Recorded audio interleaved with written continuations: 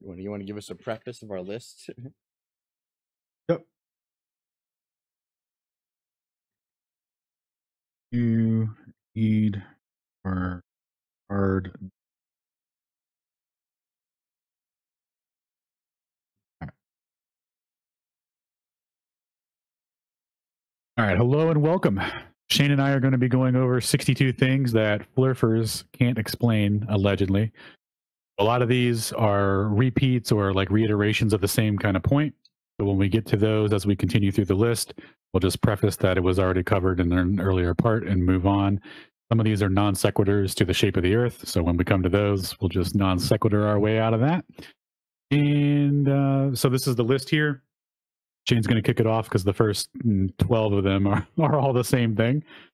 So Yep. without further ado, Shane, take it away. Cool. So thanks, Alan. We're going to address this, I think, really quickly. We're going to go through all 62 of these just because at least 40 of these I myself are you taking it away? Oh, shit, man. I forgot I had to push the talk. Actually, let me fix that. I was talking to my recording. Nice. So yeah, so let's see. Let's uh start with so we're gonna do 62 of these, but because you know 40 of them I have videos on addressing each one, and Alan has the other 20 addressing each one. We're just gonna buzz through them. So first, let's start with sunset. Why does the sun set on flat Earth? because it gets far enough away that you can't see it, and it takes its light with it. If a car light with a heart with a car with headlights in a desert recedes into the desert on the flat plane, right? It, it goes far enough where eventually it takes its light with it, and that's what happens exactly to the sun. If you take into the effect the limits of optics and the way you can see in a celestial dome, when it reaches the apex of that dome and it goes beyond the horizon, it begins to set bottom up because of the compression of angles, which happens more from the bottom than from the top. So it compresses angles unequally. So un- unequal angles cannot disappear equally; they have to disappear unequally, which means that the lower threshold to the bottom is the horizon, and that's why it disappears bottom up and that's why we see this happening all the time.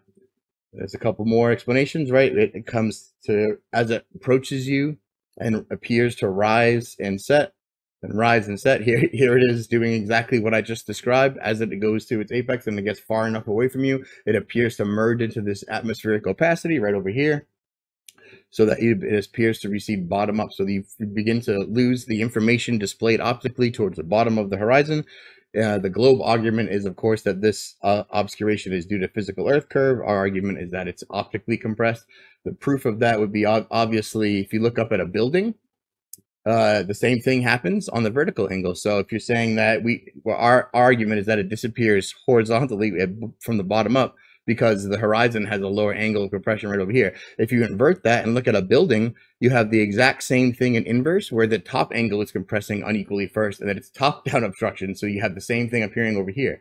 So this is the inverse, and that's why it's a mathematical sort of proof. It happens optically bottom up, it happens optically top up. It's therefore an optical effect. So that sort of takes care of sunrise, sunset, moonrise, sunset, sunrise, and, and azimuth. But we can go to this real quick. Let's switch this up. Change windows. Cool. So sunrise, sunset. Of course, we can predict sunrise and sunset for every observer all over Earth. That's what this does. Right here is where the sun is visible and when the moon is visible, you have your reading. So if we move to the time of day for it to appear to set, we have the sun at azimuth 94.3 and elevation 36.4. That means for this observer, it is a rising, right? So from, from north, it's 93 degrees. So if we look where north is, 93 degrees this way. So it's about right, a quarter angle turn. That's the degree from azimuth direction. What's the elevation? 36 degrees above this horizon. That's what it's saying. That's the sun. The moon is right next to it, so it has a similar reading. So sunrise, sunset, moon, moonrise, sunset, sort of addressed right here. Don't know why this is a debunk. This is kind of we own this. So uh, let's let's do them all right here. So we have sunrise, sunset. You look at for the same thing from a different angle, right? Sunrise, sunset, sunrise, sunset. I think that's pretty good. Sunrise and sunset totally makes sense on a flat Earth. Has to appear bottom of obstruction. It's the only way it actually makes sense if it's an optical effect. What do you think, Alan? Well said. Well said. I love the building example. Really illustrates the, the issue there. And then if you could bring this up on your window real quick, so I'll just use your Discord as the baseline for the recording. Here's a follow up to that. You know, the the light moving away and this and it coming out it moving out of our field of vision. You know, taking the light with it, right? So a globular substantiation, like a prediction of the globe, would be that when the globe or when the sun is setting, a shadow will be cast higher than the object that is casting the shadow. So, for example, if you have a window facing the west when the sun is setting, globe would predict that the shadow produced in that window would exceed the height of the actual window casting it uh, as it as the sun you know goes down below the curve and that would that never happens actually what would happen is is it would start to speed up as it's as the shadows being cast and then it would just abruptly end because you know ball curve it's going to come to an abrupt stop. But what actually happens if you can if you um, can skip towards the middle of that video shane? Yeah, what actually happens is it starts going up uh, and then as it gets to the equal elevation of the as as the thing casting the shadow it slows down and then it just fades out. So if you can skip to the very end, we can see what that looks like from Man of Stones. I'll see as a window facing the south. And if you just want to like skip towards the end, like the very end where the shadow just fades out. So you'll notice this shadow is like fixed in the same spot and then it just fades out. This is indicative that the sun has left our uh, field of vision and the light it casts can is no longer reaching us and it's fading out. On the globe, it would predict that that shadow, you know, keeps cl- keeps going up that wall and then just abruptly ends. But that's not what happens. It slows down, never reaches the height of the object casting it, and then it just fades away. This substantiates our model versus what the globe would predict for a shadow. All right. Perfect. That ties it right in. So not so exclusive sun shadows. You can't have that on the globe. It would, it would have to de- continue its path until it disappeared. It wouldn't just fade out, right? Yep, this is mutually exclusive to our model. So there's no globular explanation for this. If you have a house on the beach uh, with a window to the west, you'll never see the sun uh, cast a shadow that exceeds the height of the object casting it. So. All right, so we did sunrise, sunset. Well, what's next? We got starlight being visible at the horizon. You want to do that one, and the faces of the moon.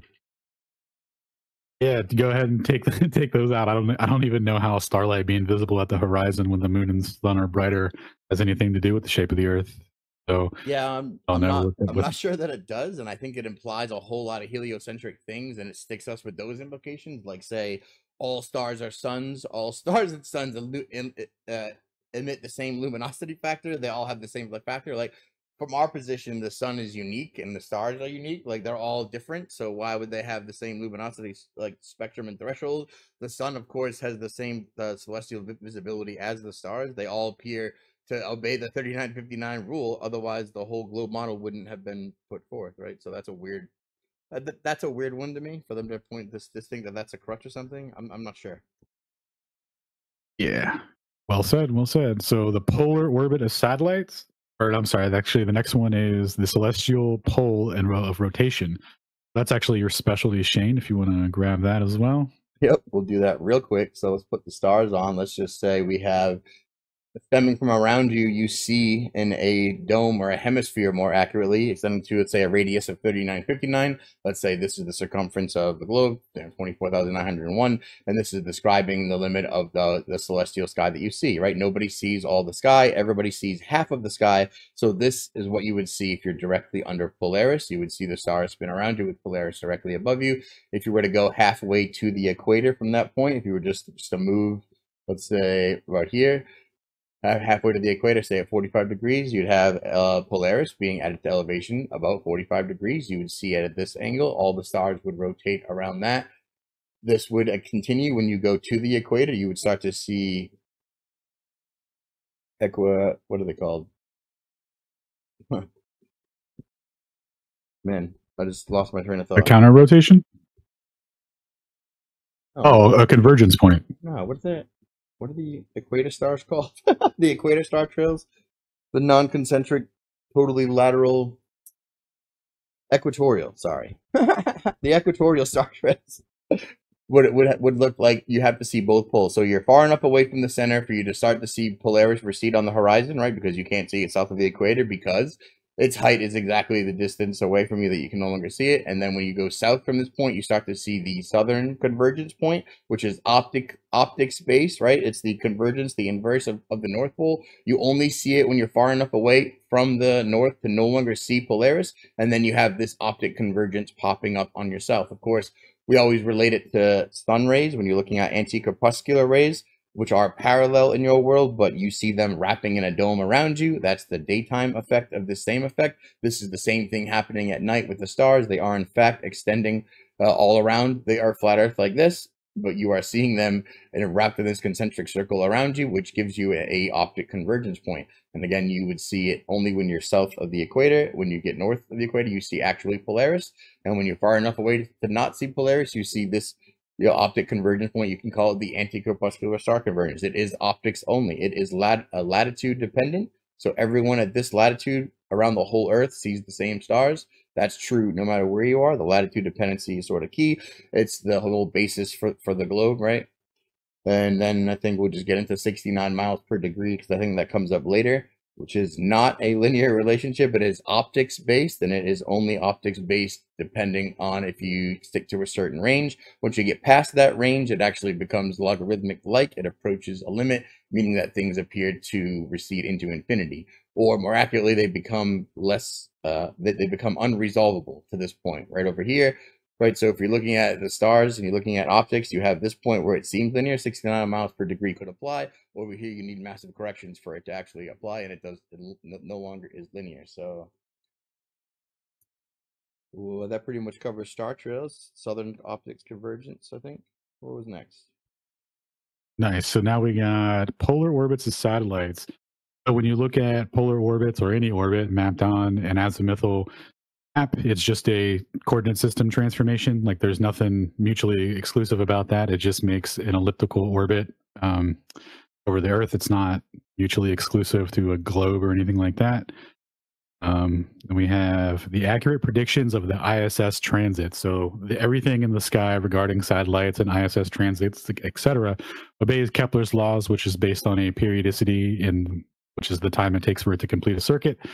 So none of these are predictions, right? It's just the path that it that it takes, and then it follow it follows that based on the scale that they give us.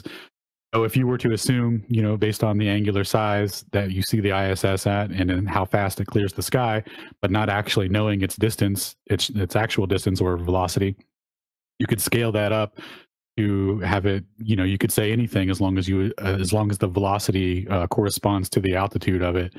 So you wouldn't know the difference if it was at 500 miles traveling at 17,000 miles an hour, or if it was much closer and just traveling slower, it would clear the sky in the exact same time and it would be, you know, quote unquote predictable. But again, following Kepler's laws, it's not a prediction. They're based off of empirical observation. So whatever route that it's given, um, you don't know its true altitude and anything given to you would fit. And then we have the ISS Doppler radio shifts. So Shane, if you could pull up that page earlier that I found. Oh, right. That's over here, which we can switch back to. Change, and I got it. So, corrections. Yeah. So here you're given you you get your radio readings and then you apply the corrections that they give to you and then it it, it confirms for you the distances and altitudes given. And again, um, you wouldn't know if the if that's the actual altitude and distance or not. Um, but you know, when you apply these corrections, it certainly would make that it would validate that scale for you when you apply the correction the given corrections to it. So uh, you know, this is not a this isn't a proof of of anything. So we have distant boats and objects, ma- mountains disappearing over the predict at a, a bottom up at a predictable rate. So as Shane covered earlier with optical observations, those uh, why things disappear bottom up because it's the unequal angles there. In the which you're closer to the ground, your angle is tighter, so you're going to lose the that that's going to cause the compression to happen at a much higher rate at the horizon. So that's where things are going to disappear bottom up. So all boats, distances, mountains, all that stuff, none of that is mutually exclusive to a globe. And as Shane went over, when you apply that same notion to the sky, um, with you know, it's basically the arc of your vision and not the arc of the ground you're standing on that creates that. So again, not proof of the globe in any sort of way. We have precise dates, times, and totality and duration of eclipses. Shane, I'm setting you up for a pre-dunk here. Eclipses, right. So completely based on periodicity of the moon. It has three separate periodicities. Let's get over to them here. But it's all geocentric based, all observation based. It pretty much takes the azimuth, the elevation of the celestial bodies, and it marks them as cycles. So we can go real quick into first. Let's do lunar periodicities because we got to touch this one real quick. Uh, let's see here. Right. So we got synodic month, draconic month, and anomalistic month. Essentially, it's coinciding with parts of the moon, right? So the synodic period would be moon, full moon to full moon. So the synodic month, you got draconic month, which is returning to the same node, which is where it crosses the sun's path. And then you have the and uh, let's see the anomalistic month, which is when it uh, returns with respect to the lines of the uh, point in its orbit. So it's whether perihelion or ep- So between these three, if you run the numbers back and forth, they always coincide. They happen to line up to exactly a Saros cycle. And then once they coincide, they actually meet all the time. Uh, the way that they meet is interesting because of the ecliptic. As a matter of fact, um, yeah, we can just go back to the model real quick so I can show that. Change windows back to this. And back to this. Right. So the ecliptic would be for each observer. You have the band with which you observe the sun's path. If we take this path annually, actually, let's put it so the sun is visible. Uh, is the sun visible? There we go.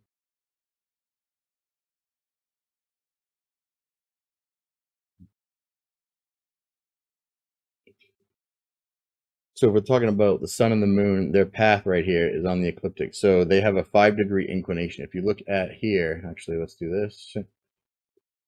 Look at the sun and the moon. So they're each on a five degree tilt. Like here's the sun, on its inclination, and here's the moon on its inclination. They're, they're five and I think three degrees respectively. So every time that they intersect, there's not an eclipse because they're at a different height elevation. What that looks like in real time is that they actually miss and miss and miss and miss and miss. And because when you line up with the periodicities of the moon that we went over before, that actually dictates when a solar cycle hits. It's something like 18 years, uh, nine months, and then 10 days, and it actually has a stagger effect to it. So that every time it happens, it happens at the same point ge- geog- geographically, but off set a little bit. I think it's like 30 degrees, and then it goes 30 degrees offset, 30 degrees offset, 30 degrees offset. And that creates a, a cycle, and then that cycle repeats. So what happens from the first cycle, from a, a Saros cycle, is that they number it weirdly. They start to go off and do like tangent numbering, so they try to confuse people. What actually happens is if you track that one series of eclipses, you'll get uh, an, an, a, a complete cycle. So you'll get the actual progression from like solar, lunar, annular, it has an absolute uh, predictable path, and that when you have one, you'll definitely have the other. Uh, let me go back to the database for that.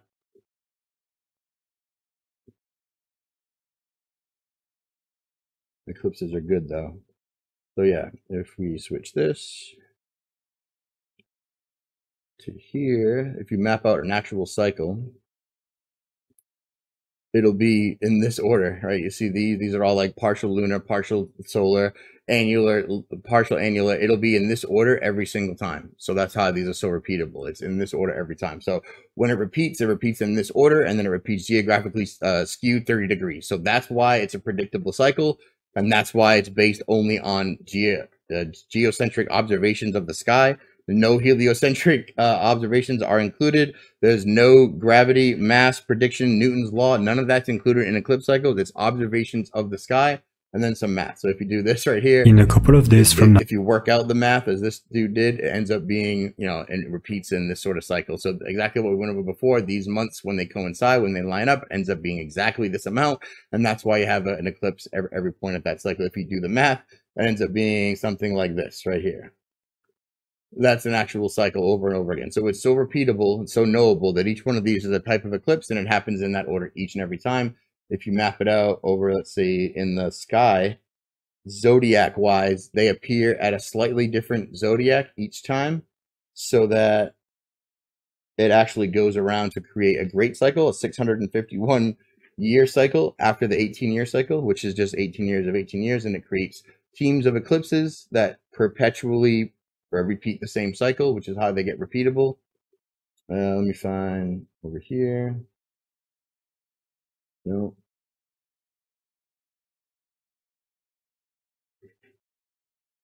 Teams of eclipses. There we go. So they get re- re- repeatable down to the day, and that they always occur in the same order. So something like this, right? If you look at the dates and the times and the types, these are the types listed. They're known and each one is, is always in the same order. They don't tell you that about the solar cycle. So you have the grand eclipse cycle of 651 years. If you picture this as the zodiac, this is an actual cycle, like an 18 year cycle right here.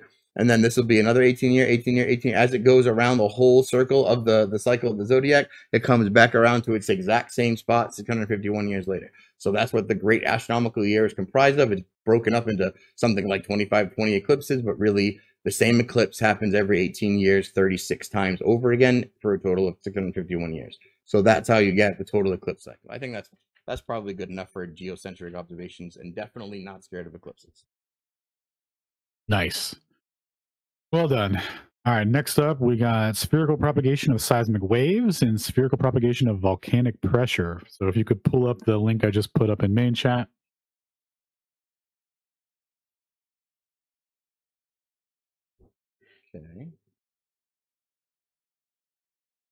Ooh, Toby nailed this. Excellent. Yeah, bodied it. So Uh, the shadow waves. Oh, sorry. Go ahead. I can't find it. Crap. Did that thing where it's not my active window, so it like pretends that it has no idea what I want to share. Nice. You want to play the audio with it? Can you share They the audio this is on proof Discord? to East Vector. Am I not? Am I not sharing audio? It's to west I don't hear anything. Downward vector. You have to share the specific window. I think. I am. Mm,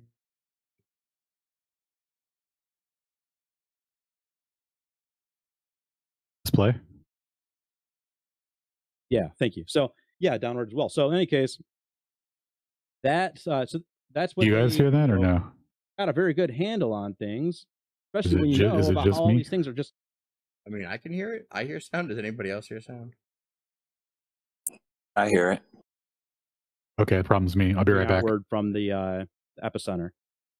And then with the P waves, they try to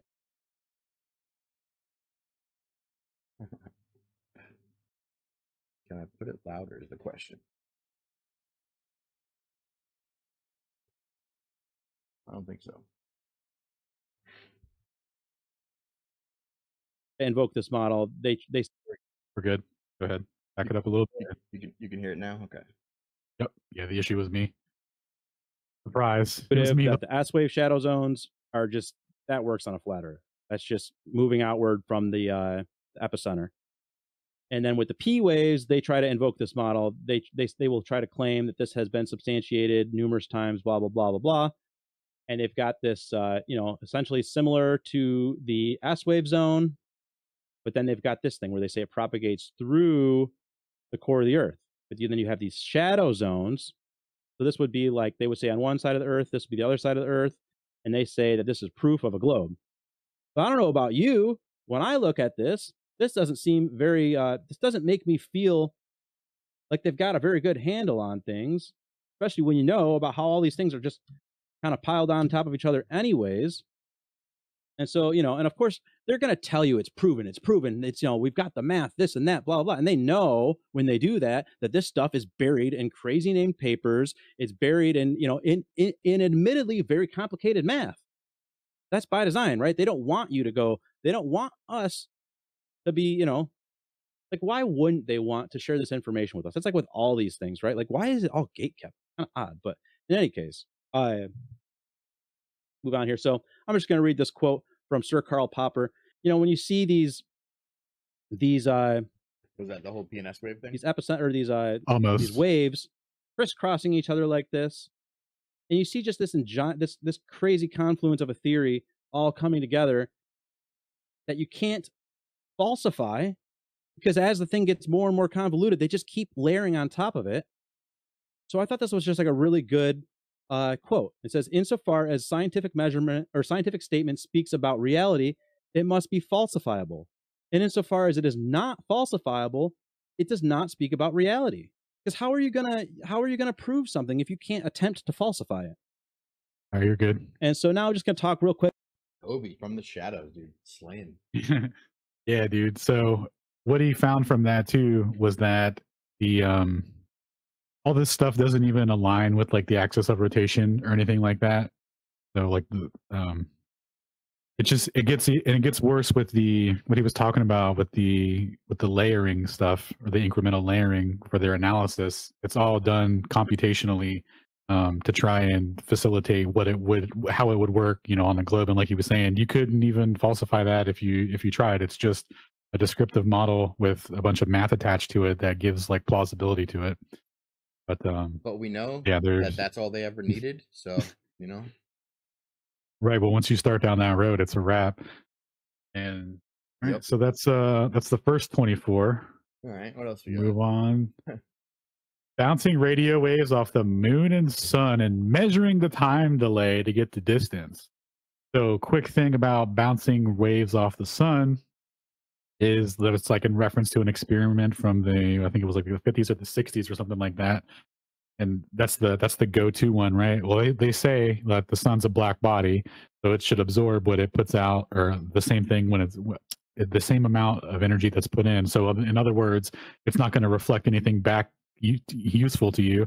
But in in this in a few cases where they need to you know physically confirm the distances with a measurement suddenly the sun's not so much of a black body but anyway when you get into the analysis done of these signals that are sent out and then received they have to do a bunch of renormalization and generalization um, to analyze the signal meaning they get back a ton of noise and they have predictions on what the signal may or may not look like after you know xyz conditions over this distances etc so they're just pulling out the numbers that they think would correspond to uh, the frequency that they sent out after those distances and whatnot and there's nothing to there's nothing uh, meaningful about that. Like you could you're just pulling you're just analyzing noise and you have what you would expect to see and you're coming up with ways to uh, statistically cancel out um, the noise until you get a frequency close to what you would expect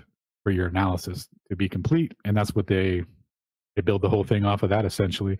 And then the same goes later it'll be mentioned that we use uh, the retro reflectors on the moon just proof of that we went to the moon.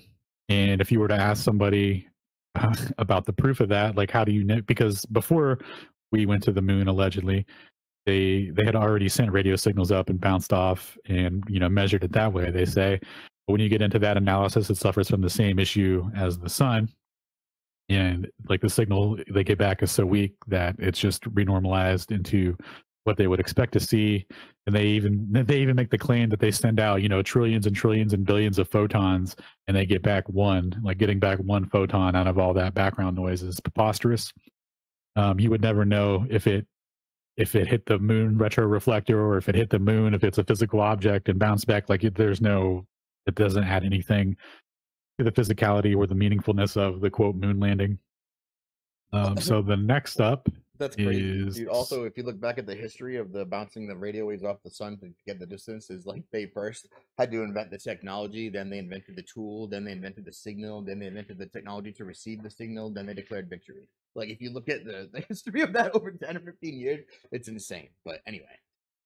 yeah it was a yeah it was a whole thing and then it was like oh let's let's this is how we're going to reinterpret the noise and then con- confirm our me- okay good job bud That's how they did gravity waves later. It's the same technique. Neural networks, Yeah. noise, and uh, algorithmically analyzing data. Oh, look, we found what we were looking for right where we put it. Hey. yes sir so next up we have southern hemi flights and distances and speeds Cool. So Shane, I feel like you're kind of an expert in this with the amount of times you and Rue have uh, went over it. So If you want to take that one. Yep. So first of all, on the maps that they're comparing, they're all identical. Everyone's using the same depiction of the same coordinate system to show different distances. It's really weird. They're identical. I think we made there's a night uh, flight path maps thing. Here's one I just took for instance, right? If you look at this one, it's so Air France A. This is not Southern, but it's just a flight, right in the north. And here here it is mapped out. And if you look at it, it's the, this distance. This is the actual distance, right? It's five thousand one hundred sixty-four miles. So over here. I mapped it out on a whole bunch of different projections of the same coordinate system to show you that no matter how this line is displayed, it is always representing the same amount of distance. It's always 5,769.96 miles. No representation of that will change this. This is how maps and coordinate systems and cartography and map projections work. Now, you want to talk about the actual argument for the flight path, it was an argument of proximity, not distance, right? So if you're saying that when they make a stop and they make a deviation that goes uh, halfway across the world, that was the flight path argument for the flat Earth, right? They we, we would say that by proximity they would happen to fly over their target all the time, and not for the crazy distances that you guys try to spin out with your misinterpretations of misunderstandings of map projections that are arguing all of the same distances. It's silly to say that they're different. Anything else? Yeah, nailed it. So next up, we got phases of Venus and shadows of Jupiter's moons. So these are non sequiturs to in, in relation to the shape of the Earth. That like, if you want to chalk that up as flat earthers can't ex- can't explain that, I'll go ahead and take that one. That's Yeah, fine. Honestly, fuck But it doesn't it doesn't it doesn't give any mutual exclusivity to the shape of the ground. So couldn't tell you. Next up, we have meteorites. Thankfully, Shane happens to be a meteorologist. Oh yeah, let me get my meteorite thing out real quick and do a quick one on plasma type discharge in an electromagnetic toroidal environment, and we'll see if that matches up real quick.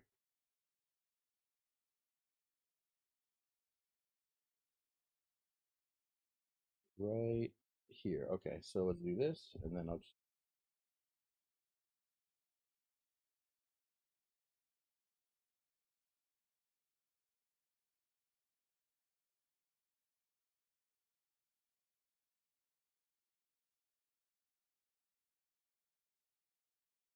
All right, there we go. Change this up.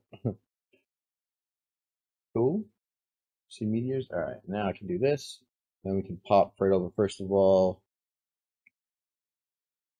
right? What are meteors, meteorites, comets, and asteroids? They're all different. They're talking about meteorites, which are what survive the journey and land. Almost none of those do. Meteors, streaks of light, also known as shooting stars, never found them. Now, if you look through all this stuff, these are not comets. These are meteorites, right? These are absolutely 90 degree impact craters. They always hit perfect. Yo, Crazy. what you're displaying is not being shared on Discord. It's Oh, just no, static. It is, but it's not. Oh, I know. Uh, no, I don't know what's happening. hit the ground so hard. There, there, there you go. Oh, yep, it had to be active. I got you. Let's go over here. Nice. So like they had to hit the 90 degree angle. They never, they always hit perfectly. They never leave any mark. There's never any ejecta or anything with them. If we talk about what space balls are, or balls from space that happen to hit all over the world, that happen at random times right after you see a giant flare, these are what you would call shooting stars. They get launched all the time. All the countries call them something different. They pretend they don't know. They call them different things. Russian things call them fireballs. What are they? Satellite, GPS debris, gas tanks, all sorts of stuff. Oh, look, we still don't know. They all look the same. It's always the same. Fireworks, fireworks thrown from airplanes, essentially. And then if we look into actual meteorology papers and we look at, hey, if we look at the actual distribution of meteorological impacts in the Earth, we have most in the North Toroidal Vortex, which we'll map out later. And then we have the aphelion and the helion, where the sun is, where the sun isn't. South toroidal, north toroidal, north. I forget what this is, and then this is the south version. If we go to where they actually hit, these are where we, we mostly get the impacts in the north, north apex, south apex, north toroidal, helion, antihelion, right? And if we look at what the coordinate system is, this is where we would hit. If we look at where they actually hit, happens to coincide with the solar periodicity, right? With the solar uh, minimum and maximum. So really solstices, right? When it when it's at its most and when it's at its least, that's when we get the most meteorite impacts. They come in streams, they come in uh random as storms. So when, when it's a stream, it's a known shower. They know when it's coming, that's predicted. Everyone knows they come in the same spots. The sporadic meteor impacts, which is the ones we call shooting stars, actually only occur here. Right? They only occur in this spot. I'm just gonna play this out.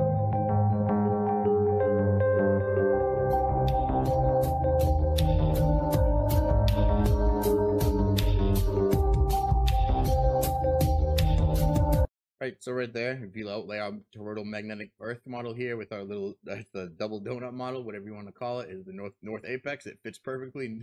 South apex, north toroidal, south toroidal, Hi- Hi- helion, and antihelion right here. So where as the sun circles around, that's where all the meteorite impacts occur in line with its periodicities. All right, next. Nice. Let's see. What do we got? We got, let's see, horizon dropping from eye level with altitude at a predictable rate. Want to take that one for optics and I'll do cell nav?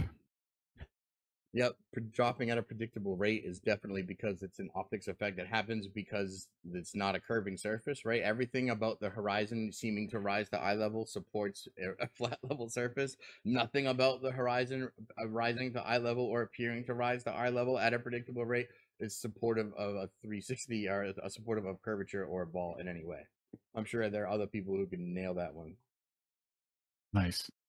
All right, so celestial navigation starts with the cusp of Aries. So all the positions of the stars are taken. It's like a snapshot of the sky based on the fall equinox, I believe. And then every day moving forward from that is, uh, you know, where those stars are, uh, where their lateral motion would put them in the sky over the ground. And again, that falls under optics, right? So all the stars that are used for celestial navigation that are seen in the northern hemisphere and in the south are usually around the equator, so you can um, you can see them from both sides. And you're just triangulating a position of the star that corresponds to a ground location that has nothing to do with uh, with the shape of the Earth, because again, we already have the, all the optics um, where the radius of your vision corresponds to the quote unquote radius of the Earth.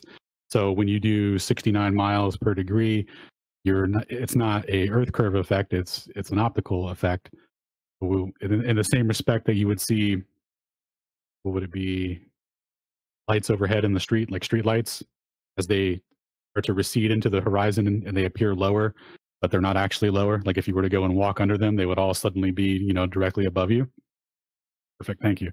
So that exact that ex, that exact phenomenon applies to everything at altitude. So it applies to planes, and then going further up would be stars.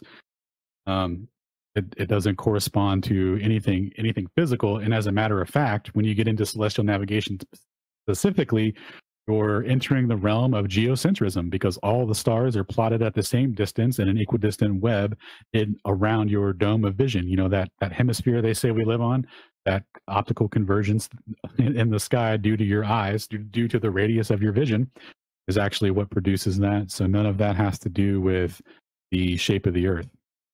And then if you want to get into and then if you want to get into the fundamental plane aspect of it, right? So if you take that hemisphere of vision that we have, and then you map the inverse on it using uh, negative coordinates, that would complete a sphere for the celestial sphere, but not the ground. Um, but you could use those negative coordinates to represent things that go out of your line of vision as if they were beneath your feet. And then what do you know? They're going to come back around at a predictable time the next day because all this is cyclical, and it doesn't uh, doesn't prove that that the stars went beneath your feet at all. Right? It actually refutes uh, heliocentris or heliocentrism distances because none of those are used for anything uh, for celestial navigation. Man, celestial navigation just plays upon the direct one for one correlation of the celestial sphere to the geographic graticule, that is longitude and latitude gridded network as a sphere. It's the spherical graticule. Because of that one for one relationship, it maintains distances for nautical miles and covariant transformations between them, right? It also maintains point for point like references because of through geo astro astrogeodetics and the uh, extensive use of satellites and GPS and geodetic surveying, they've uh, combined the geographic graticule in the celestial sphere so that each point can be represented for every point longitude and latitude there's a point right ascension declination meaning that there's a point in the sky that corresponds to the point on the ground at a certain time that correlation is the basis and the backbone of all sphericity. It's how they convince people that Earth is a sphere. It's how the maps get based on a curved sphere. It's the old school projection of the celestial sphere onto the uh, plane, just like what the astrolabe used to do. And of course, the astrolabe uses the same coordinate systems, like the alt-az local grid, based on the celestial sphere. So it does the conversion by the two plates. If you remember, we did the presentation on that. The first plate and the local one is where it's based on. It's based on your your local latitude. The plate that rotates around the North Pole as a center center focal point rotates what is the celestial sphere around your, your local sphere in, in essence combining the local alt-az grid with the celestial sphere grid now you mentioned the fundamental plane which is the best part about the celestial sphere. It's the nonsense, uh, made up bottom part of things that you never see that we can fill out with math. That is based on the circumference value of the sun going around the, the flat plane and when in, when you see it. When you don't see it, if you pretend it's beneath your feet with math, but it occupies the same circumference as it does to go across the plane, the math that you use to predict it will never let you down in perpetuity. Nice. What else we got? All right. Next up, we have lasers ranging off the moon's retro reflector, which we already covered. We have Mount Rainier and Mount Whitney's 2.75 mile tall peaks not being visible from flat open ground 200 miles away, and then seeing them start to appear as predicted from about 135 miles away. Sounds to me like optical compression. Is this the mountain? I don't even know. I don't, I don't know this one. Couldn't tell you, but it's optical. it's all the so- same thing, right? So if the thing happens to appear based on an optic uh, loss of information from the bottom up, then that supports our premise, our starting point in all seven of our previous points. Nice. We have standard reference masses predictably changing with latitude. This is actually false. If this were true, laboratories that do um, uh, that that make pills like pharmacist stuff um, and chemists would have to have their equipment recalibrated when they sell it to another lab eh, that's in another latitude. But for example, I know a pharmacist who makes pills and the equipment that he uses, you know, measures fractions and fractions of a degree of kilograms. And the the equipment that he bought was actually had been in service for about 10 years and it comes with a log that tells you, you know, who owned it previously and what maintenance they had done on it. It's a very expensive piece of equipment. And this thing has been all over the world at different laddies, about five or six different laddies. Never once was the weight recalibrated. And the thing is, when you're doing chemical compound mixtures, you have to be exact because otherwise your pills aren't going to work. Everything is dependent on that exact chemical compound uh, weight ratio that they put into the stuff when they make it. And if that was affected, if that was latitude dependent, I mean, you're talking about legal liabilities and repercussions for, you know, people's medications being off due to latitude dependent weight changes. That's never once been manifested. You would have a whole market based off of buying and selling at lower uh, altitudes and whatnot to to change the weight of things, and none of that has manifested. So this is a completely empty claim. In reality, when it when it matters, when people are making uh, medications and things that you know have have to have a certain weight ratio for what you're uh, putting into it. None of this is manifested. None of this is accounted for. It's completely irrelevant. It's a dead point. Yep. Just remember the gnome they passed around to show this actually failed this test and is uh, trying example of how that doesn't work. And you can ask Ruhif the Star Glober how that doesn't work and how to prove it. But little g is just a facet when you break it down, when you simplify it, right? Is just a facet of height, time, right? And you get little little a for acceleration. Depending on how high you drop it and how long it takes, you can figure out how long it takes to hit the ground, right? If you just do this simple equation over here from a height of 10 meters, takes 1.43 seconds. You can see 9.78 on the spot meters per second second boom so that's just little g has nothing to do with any of the crap that they go into i don't think big g's on that list but we don't need to go into that we we make it quick we got 62 items here Got 62 items, and I don't think any of them are Big G related, unfortunately. So next up, we have reciprocal zeniths always being greater than 180. Say it ain't so, Shane. is that another optics based measurement of the loss of information from the bottom angles from the compression being unequal and also from Yep. you know angular resolution Oh. limit so also they have a paper And real quick, oh yeah real quick, the next three under it are actually all related. They're all, they're all the same. So starting off with reciprocal zeniths always being greater than 180, and then 36 is surveyed landmarks show that there are three points created in internal angles that are greater than 180 degrees, which demonstrates spherical excess, which matches a sphere of a diameter or with a radius of 39, 59. 37 is Polaris dropping one degree per elevation angle of southern movement. And 38 is Polaris not being visible in the southern hemi. And then we have landmarks and objects predictably dropping below the distance of the viewer's local horizon line of sight, determined by the perpendicular angle of their local zenith. Whew. Yo, we're missing. So that was like, a whole. We're missing that 39 whole- to 50, dude. We're missing 10 of them. No, we've been through all of them. Where's That was that was thirty. That was thirty-five through. Oh, I see what you're saying. Yeah, we're missing forty. Yep. Got you. Got you. Okay, well, we'll come back to those ones. Just noticed. But that. these ones in Okay, this- no problem. Yeah, these, these ones in the screenshot are all related, so we'll knock these out and then we'll swing back to the forties. Yep. Let me just get my spherical excess folder out because I got once a week we got to talk about this because people think that this is like a a hundred percent gung ho like one shot. They just oh I nailed ready ready. You want me to kill Flutter? Spherical Dude- excess. dude, th- yeah. Dude, this 180 degrees uh reciprocals anything is uh it's the worst, dude. Go ahead.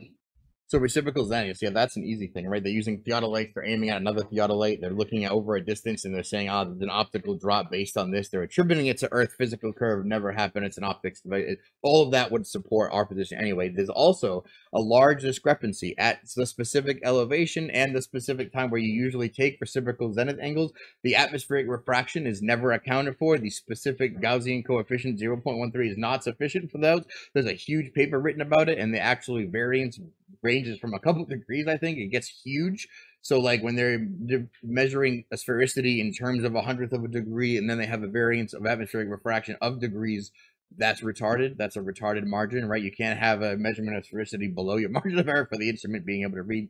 Anyway, when we get over to geodetic surveying, when they're trying to say, oh, look, actually it compares, and we know that we we measured the sphere. No, false, false. All they ever do is measure planar and then they uh, correct to sphere and it happens over and over and over again. They use uh, reference ellipsoid. Here's one that starts off with they throw away all measurements that don't comport to eight inches per mile squared. If it doesn't if it's not in this range they don't even consider it. They throw it out. Uh, they say that they're already doing corrections. So what you see in the tables for the geo this is the american arc of the parallel from the first triangulation survey, the, the de facto proof for spherical excess that's already been corrected for the GPS long lat system for the stars, for everything that we went over before, as far as the as far as the celestial sphere and the geographic graticule. Here's where they're comparing it to a model and they're trying to get difference. Astronomic, geodetic amplitude, right here. They're doing geodetic surveying in, in the middle. When they have longitude differences, they have corrections. Hence, they pick a spheroid of smaller dimensions, right? So they use a different spheroid model. They have a reference spheroid. Oh, we're going to change our reference spheroid if that didn't fit. They have corrections that resemble trigonomic functions that always comport back to the coordinate system in which you're measured. So they're taking planar measurements, they're comporting back to these spherical corrections again. A table that they correct based on latitude, longitude. So they're using azimuthal corrections based on latitude, longitude. They do a number of star catalogs, meaning they multiply the amount of astronomic measurements they take. So that means they can take more ground measurements. More sky measurements means more ground measurements. They have corrections all over the place. Essentially, I think that's that, that's plenty. Here's a one for reciprocal zenith angles. Actually, here's a an actual sheet where they try to measure it and they take these optical measurements and then they add them up and they say, look, it's over 180 one direction, therefore Earth's a sphere. But actually, where that comes from is the sky. Jackie, you're hot mic into this. Thank you. But also good to see you. Welcome. Uh, shout out to Jackie. What's good? Uh, so My bad. the spherical excess actually comes from the sky. It's it's from when they used to do astro- spherical trigonometry in the sky. They used to be called an astronomical triangle, and that's where you get the comparison, which the, the spherical excess, you get spherical triangles from there. That's where it comes from. So when they meshed the celestial sphere onto the geographic reticule, that came with it, and they were like, "Behold, we have terrestrial spherical excess," and everyone bought it. Uh, what else was there? I think that's pretty much it. We already covered Polaris dipping and 69 miles. I knew that was coming up, so we knocked that out. landmarks and objects predictably dropping below the. Di- we definitely covered that. That was definitely 69 miles per degree. We That's hit, that's our radius of vision, not radius of ground curvature, physical obstruction. right. Something All right, so- So now we have um, I 40 posted the missing paper. Yep, I got it. So we got 40 will be 24 hours of visible sunlight in the Arctic and 24 hours of directly visible sunlight in the Antarctic. So these, unfortunately, just the sunlight alone is not mutually exclusive. Um, with the coffee cup caustic, you would have 24 hours of sunlight um, in the in the Antarctic. So that's not mutually exclusive in that one the argue the better argument would be for the sun being visible and that would be that's highly contested through all the videos that we've been through that turned out to be fake and edited and not actually represent anything. So there is a future uh, observation going on this year actually in december i think on the 17th if i'm not mistaken. So stay tuned for that. We'll see how that pans out. We're sending a couple lads down there with some cameras to see what's good we'll have some actual footage that we can analyze from that to see if there's anything mutually exclusive about that observation. So next we have 42. Shane, globe globe maps working perfectly. oh my lord. Oh man, it's like they just love it. Uh, let me see. Now, it's interesting about the globe map working perfectly argument because there's an open debate challenge right now on Twitter hosted by Shane, and not a single globularist wants to use the globe map argument as proof of the sphere that they think they stand on. That's a really precarious situation to be in. Right. I mean, for the last, I don't know, forever, every glober has been so happy to tell us that all maps prove the globe, all maps are spherical, yada yada yada. What what it really is though is that, like I said before, the celestial sphere gets comported to the ground. That's where the terrestrial sphere comes from. Good old boy Ptolemy actually wrote about this way back as the father of geography in his book Geographia. The terrestrial and the celestial spheres is a fundamental premise for beginning to do geography. So beginning to make maps, you need to have the stars according to Ptolemy anyway. Of course, his book is a whole long list of G- GPS long lat. That's a whole different story. But the whole thing about maps comporting to a sphere, sure, it comports to a sphere, definitely to a celestial sphere. The stereographic projection of a celestial sphere onto a plane is where you get map distortions, where you have conicals, pseudoconical, cylindrical, pseudo-cylindrical, azimuthal, direction preserving, distance preserving, all those distortions, so to speak, of the the core sphere represent the celestial sphere trying to be projected on a plane, not the globe Earth trying to be projected onto a flat map. And if anyone likes to think that I'm wrong, please accept my challenge and debate me in public. We'll have a nice, friendly discussion where both sides will be raised. We'll have both points put forth, and everyone can decide for themselves which one makes more sense. Nice. All right, here we go. Uh, 43 is flat Earth maps completely failing. Well, as we just learned, all maps project the same thing, which is a coordinate system, which is invariant under all projections. So if we swoop up the azimuthal projection as our flat Earth representation, guess what? Works just fine because it's all related to the coordinate system, which is derived from the stars. Boom. All right. And next we have pendulums demonstrating Earth rotation and allowing accurate calculation of lattice. Well, here we have a measurement, and measurements fall under kinematics. They cannot tell you if the Earth is rotating or if there's a translation of motion coming from the sky. As an ether cosmologist, I'm going to be taking the position that this is a latitude dependent ether velocity uh, situation that causes the retardation in the pendulum, which which gives it that spirographic um, uh, what's the word I'm looking for? A spirographic pattern as it's precessing due to that ether velocity, because the ether velocity is um, higher than, or you know, it's different at different latitudes. So the distance of that swinging pendulum is going to be affected by two different velocity rates, and that's going to cause that spirographic pattern that it makes, and that's latitude dependent from an ether vortex above us. Yeah, what's up, Danielson? You're hot mic in a little bit. Then next up, we have radar slash radio horizons. Uh oh. Dude, Did someone say back So- the beams?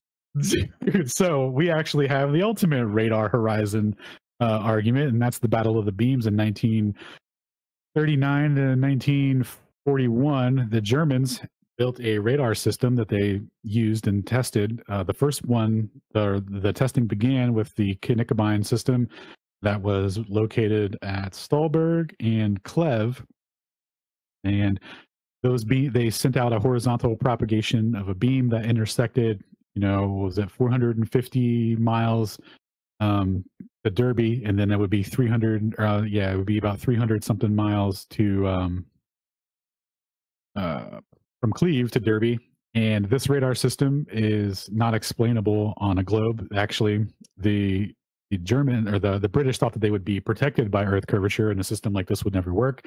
Because if you were to send out beams from a radar system like this, they would have to hit Earth curvature, and you would have to, to take a tangent to the sky if you were going to try and uh, preserve the beam geometry and not have it diffract over the sphere and be completely ruined because the whole purpose of the system was that they had a dipole alignment that could be adjusted in a V shape to um, narrow the equisignal, which is what these planes would have to fly through uh, to acquire their target. So what would happen is the plane would take off, and then when it gets close to the shoreline of Britain, it, and when it's at altitude, it would um, would fly an equisignal of the first beam, and that would nice. Got the graphics up for me. It would um it would follow that equisignal over target where it would where it gets intersected by a secondary beam at a lower frequency and when you hear the coherent pulse of the second equisignal that's when you drop your bombs. Now the only way that this could be produced is if the earth is flat because um, the diffraction would ruin the beam geometry once it hits earth curve and then you would have to argue that it follows a tangent to the horizon which puts it under sky propagation which would put the beam altitude way too high um, it would be like 111,000 feet to 60,000 feet above target, and the planes flew at 19,000 feet. So this is geometrically impossible on a globe for this radar system to have been used effectively by the Germans.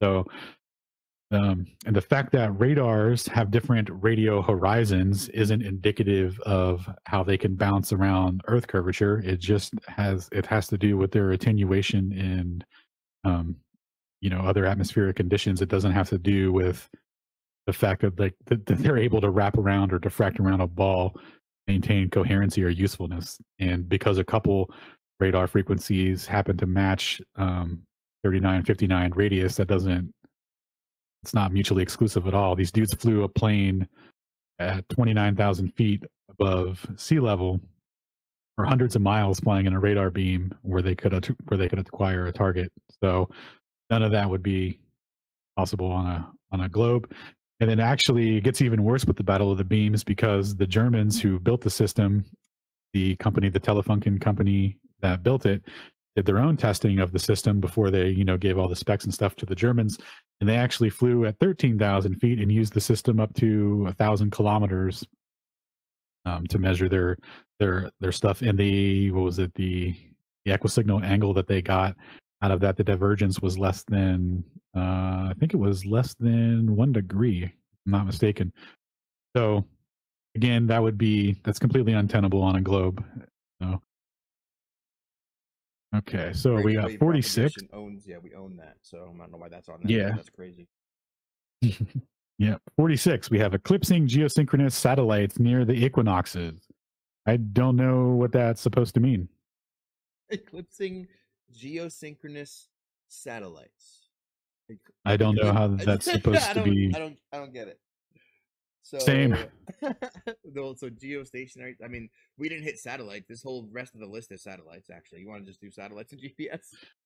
Oh, yeah. Okay. So satellite radio is getting blocked by the signal when a large hill or building is blocking the line of sight signal. Uh, okay. Yeah. Line, satellites send line of sight up. Uh, it's line of sight. So, okay directional satellite and TV antennas, all pointing to a fixed point 22,000 feet above the equator, right where the geostationary satellites are. Well, they're certainly pointed at at an angle that would correspond to that, but is it is it truly at an altitude of 22,000 feet? Like you wouldn't know if it was closer or not because it would all appear the same. Um, see why why Dude, it seems weird that the geostationary ones are the ones they want to harp on because those could easily just be balloons. Or am I missing something? Because they're state like they, they just sit there, right? That's So like that, would that, like if you're if you're gonna argue, shouldn't you argue the super quick little ones that are whipping around the atmosphere or whatever? Like, that's what I would argue. If I were a globularist, I wouldn't go Yeah. with the geosynchronous ones because, Alright, like you said, those would be the ones that would be most suspect to just being balloon technology or something. So directional satellite T yeah, I read that one. Why moving a directional TV satellite dish slightly out of alignment mo- loses signal with the satellite? Well, again, this is you're going to get the maximum strength when you're pointed at the object that's emitting it. So that's not a that's not a doesn't mean anything. Um, see, finding a distance or drawing a circle of equal altitude on a map from a star at a geographical position of e- using an elevation angle. Oh no, this sounds like a like a McToon challenge. yeah, actually, I think one of our new flat earthers just did this like for funsies. Let me see if I can't find. Oh, did he? quick. Yeah.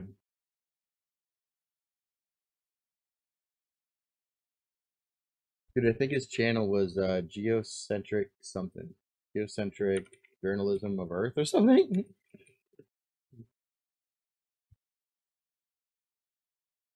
Nice. because he used like the uh, personal celestial sphere model to do it. No, whatever, can't find it. But what that essentially breaks down to is a jab at maps because back to the spherical graticule circles of equal altitude actually only properly intersect on a spherical graticule, meaning the map. So that's the whole point of it. it has to be on a map. So without the map, you can't plot anything. And oh my god, it's back to the map thing, right? So So without referencing a map to the stars, you can't plot out uh, circles of equal altitude on a map that's not corresponding to the star map. Yeah, I mean, you can plot them; they just don't perfectly intersect because they're meant to be, you know, from a hemispherical view to be plotted on the spherical grady, as you say. Nice. All right. So 51 is landmarks and objects predictably dropping below the viewer's local horizon, which we already covered. And then 52, we have every single, uh, all, all caps, every single photo and every video taken from space being fake.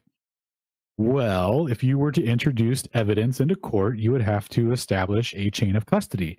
Not a single person on this earth can establish a chain of custody for anything that's been presented by NASA or the media on how or um, on the source of these images that are given to us, right? They're given, the media gets these packages from NASA and they all are uploaded and edited, edited and sanitized before they get to the public.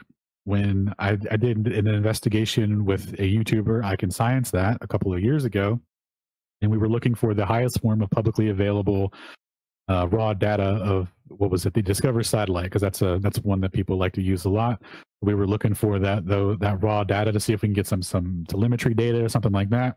Well the highest form of raw data that's publicly available that you can download straight from the server from nasa is already sanitized and it comes with two well it comes with three sets of images that you have to um what's the word i'm looking for hmm. Assemble them essentially using python scripts. I can't think of the word but um anyway Compile. when you w- comp- thank you compile you have to compile them from the raw data themselves and when you do that you get six sets of images two or the the one set is already orientated in the proper direction and then the the quote unquote raw data set is orientated um, horizontally which is supposed to be like the true raw data. But again all this is all sanitized already and then if you do a photo forensic analysis on it which again i'm not a photo forensic expert right? But looking just for you know the, the basic stuff that you would typically uh, look for when someone's like overlaying images and stuff so like blocky text or smudge lines etc so when you get into it analyzing the photos from the DSCOVR satellite you'll run into um, you'll you'll run into like the the blocky staircase scenario where it looks all suspect. And you'll also have uh, smoothed out um i don't know the like brushed it looks like it's been like brushed over. Like you, you'll see just different techniques used in in the images like there's no consistency to it. So i don't know um what conclusions you could draw from that in terms of like a photo forensic analysis. I would imagine that um, you could argue it either way you know in terms of legitimacy from that. But again without a chain of custody to establish the uh, you know where the raw data came from et cetera et cetera you like you're not gonna you wouldn't be able to you wouldn't even be able to introduce this into court. Like it would be the lowest form of evidence that you could that you could even introduce without having a human attached to it to testify to like where it came from and all that. So um you know these are nice pictures and all but they're not ex- exclusive to anything. And on that note uh, what you'll hear a lot is the himawari satellite provides um constant uh or you know inst- what, what do they say? It's like they say like every 10 15 minutes it sends it, it's updating you know all the stuff right? Well when you go to the himawari's website it's often on a 45 minute to you know multiple hour delay. And on top of that you can log into their public ftp server and download all the cloud and weather pattern generations that they have projected out for the next 100 years. And what they do is they have all these projections and uh, everything modeled out. And then they'll introduce a, a uh, Terminator line and all these things in the post processing and the image that you get, you would have no idea if that corresponds to anything um, taken from a satellite. And there's even a website you can go to to report uh, discrepancies in cloud patterns. So if you're looking at Himawari data and you look up in the sky and it's not ma- and the cloud pattern isn't matching, you can report that and they'll fix it. it's like okay, cool, man. So that's crazy. Why would the data from the Himawari not match your local cloud pattern? Why are you? Well, I, it doesn't make any sense. So this isn't mut- This isn't anything that I would be bolstering as a as proof of anything. Then we have number fifty three, which is the entire GPS system itself. GPS is really interesting, but it doesn't prove anything about the shape of the Earth when you get into the the orbits of them. Um, again, when you look at them on the on a, on a different coordinate system, so if you look at them on an azimuthal, they just create elliptical loops. There's nothing mutually exclusive about that. Now, what you would have to get into the point of contention, I guess, like to represent the argument to what the globularists are trying to make here is, I guess they're trying to say that you know that it's, it's the satellite itself is in free fall around the ball, therefore you know mutually exclusive. But when you look into the corrections that are made to atomic clocks, um, they don't core one it shouldn't be um what's it called? It shouldn't be mm, shouldn't be making any corrections for its velocity. Can you go back up real quick shane? I want to use that that image you had there. Yeah. So that right there right? So they say that they're free falling around a ball in general relativity and or gravity et cetera et cetera right? So what they're essentially invoking there is that what we see in the sky, it's not actually doing an elliptical orbit around us.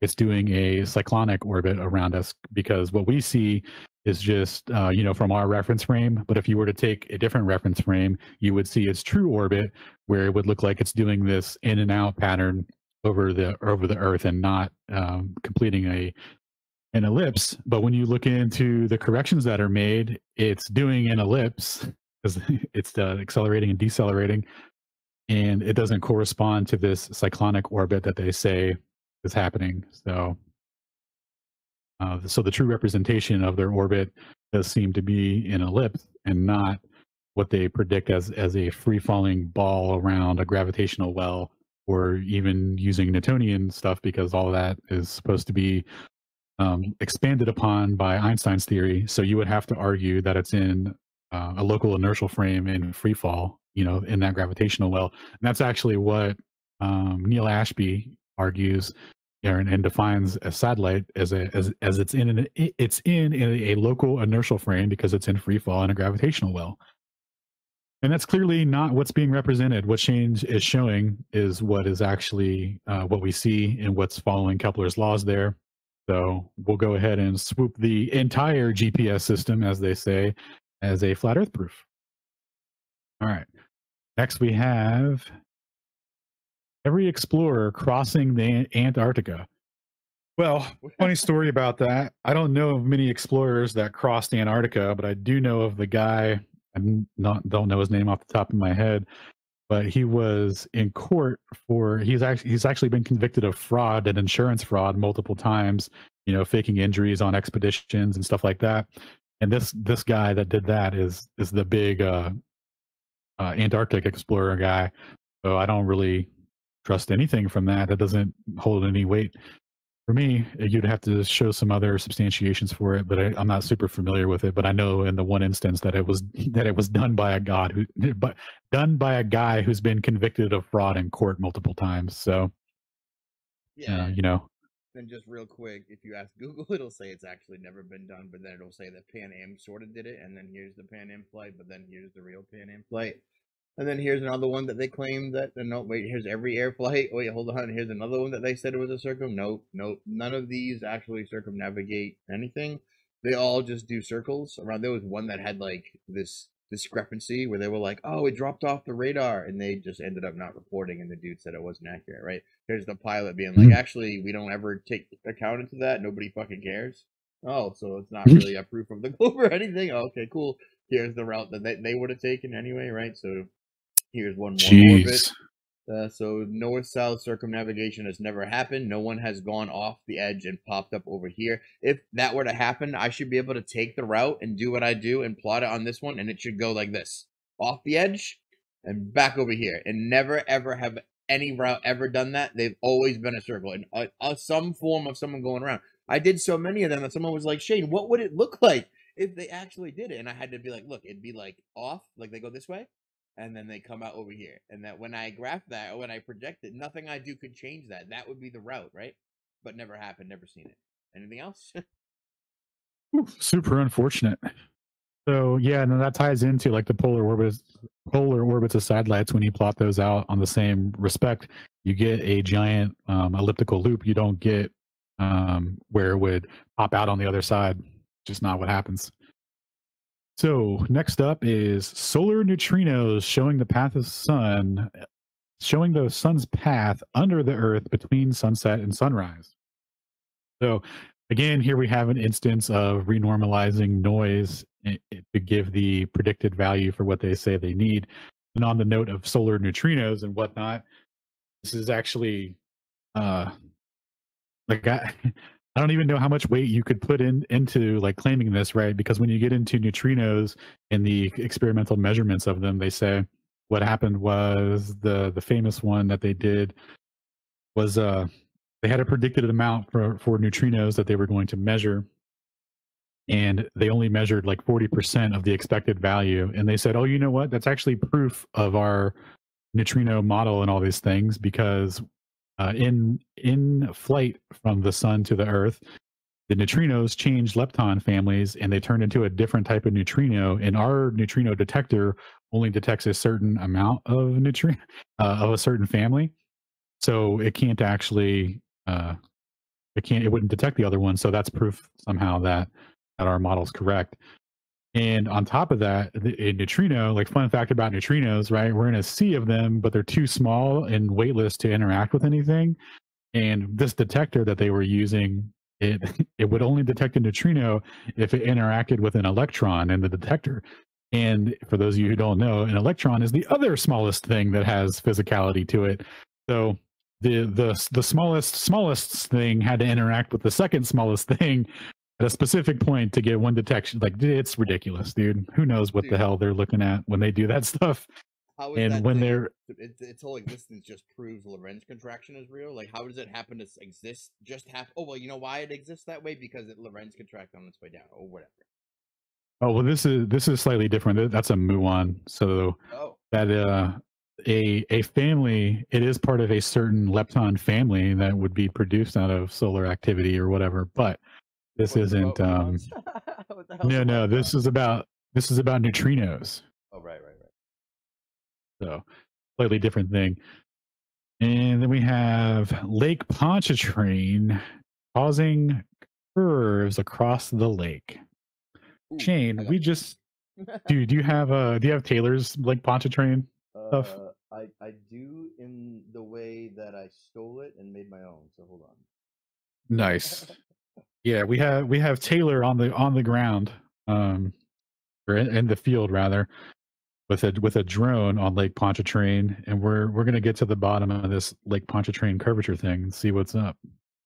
So yeah, the de facto like proof, right? They show us this. They go, look, it's physically curving, right? They show us say, let's see, over here. This is the other one. They do a model. They're like, look, here's what it look, would look like if it was a sphere. Here's what it would look like if it was flat, which is crazy, by the way. They see the whole thing. That's, that's absurd. Then here's what it looks like in reality, and they go, look, it's it's a it's a curve because it matches. And then we're like, okay, that's cool, right? Here's they're so proud of this that it looks like it. But if you actually go there on a clear day and you set a drone in the middle, and you just have it look around like, and you have it go straight up, hundred percent 100% flat all the way around. Oh no, where'd the curve go? It's like, well, look, is it a wobbly Earth curve? Is it less substantially curved today than it was that day, or or like, come on, if it varies at all, it's optics based. Okay, that's the whole point. The other people show like Skunk Bay, and they go, look, it's it's a physical curve, and it's like, why does it change? Why does it like why does it change when you go up? Why does it disappear when when you go up? It's it's it's amazing. Here it is from the side, right? Just all the way. Like here's that wonderfully curved this is the best evidence for it being uh, like a function of optics that I've ever seen. So beautiful. Shout out to Taylor. Thank you, Taylor, for this awesome, awesome footage.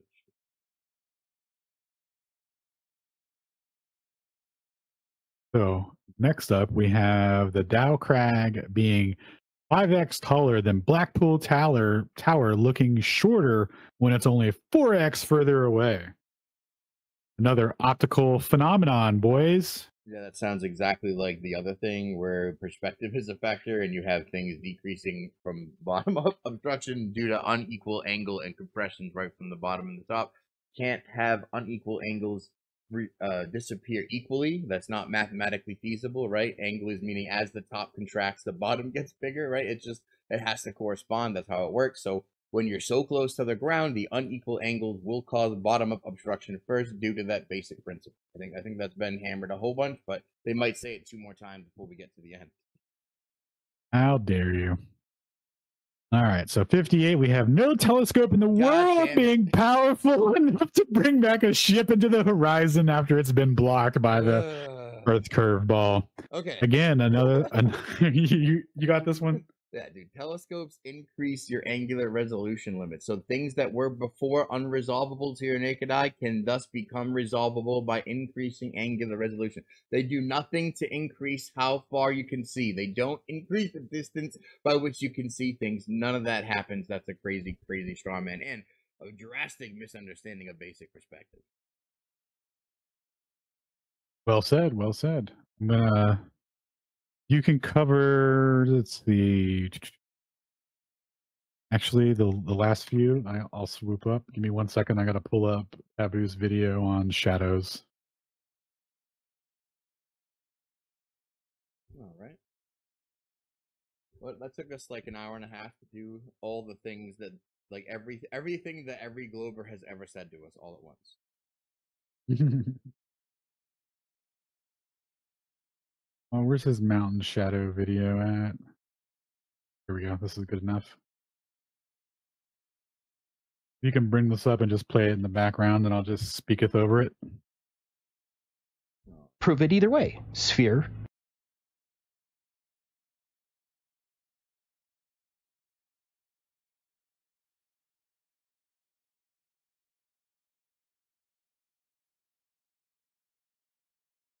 Well, actually, just just get that one ready. I'll do the Verrazano Bridge first while you're doing that. So it says here, number 59, the Verrazano Bridge towers diverging from each other at the top by one and five eighths of an inch or four millimeters, as predicted on a spherical planet of nearly 25,000 miles in circumference. This is preposterous. The Verrazano Bridge, and all bridges for that matter, change by uh, depending on how long they are and the materials they're made with. Um, the Verrazano Bridge, in particular, expands due to um, what was it thermal thermal expansion and uh, compression when it's cold. But anyway, it expands by up to 18 feet. So the idea that the towers diverge from one another by one five eighths of an inch is retarded.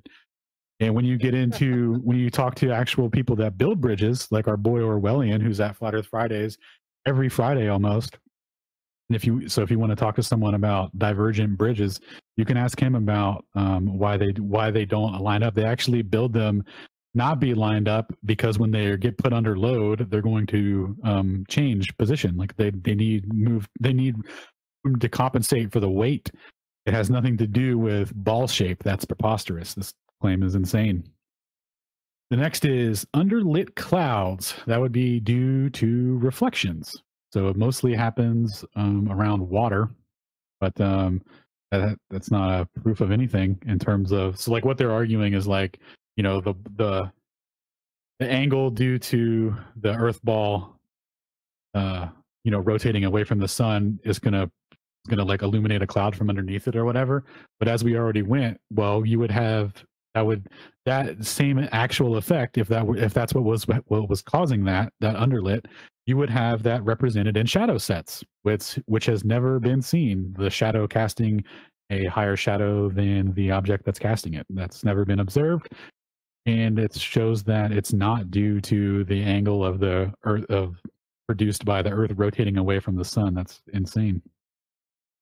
Next is the belt of Venus showing the sat sh- mm, the belt of Venus showing Earth's shadow being cast upwards towards the sky.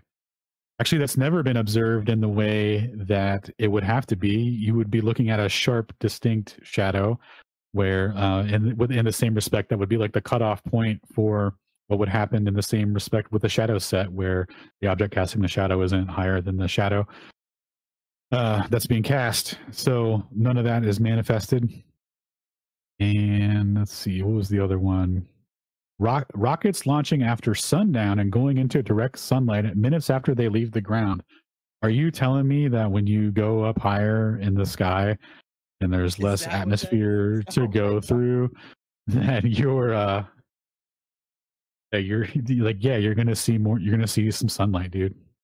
Well, I mean that's not That's why the Earth curve calculator needs elevation because it's height dependent. My God, even distance to the horizon is height dependent. Everything you see is height dependent because the horizon appears to rise to eye level. Right? That wouldn't be required if it was if that wasn't like that. Yep.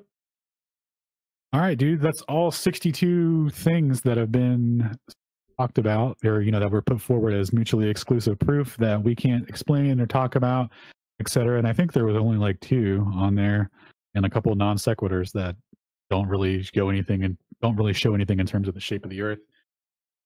But um, yeah, Well, that was that was a lot. What do you guys think? Who's here? yeah. For those for those who were tuned tuned in, does anyone have any questions, comments, concerns? Uh, well, I definitely think that was a great presentation, uh, very concise. I'm glad you guys, you know, took the time to go through them. I actually wanted to know what your guys' favorite was. Uh, favorite thing proposed by one Glober who we can't answer out of all the 62. Out of all 62, my personal favesy. Let's see. Let me pull the list back up. I got mine, man. The maps one. The map proves the globe. That's why I'm so willing and anxious to debate people on it, but it's cricket, so who knows? Well, I don't have the screenshot. Oh, wait, here it is. Let's see. Okay. My personal favesy. I would say GPS and the orbits of the satellites. That would that was a really big one for the globularist, and not not anymore. So all the other ones were pretty DS.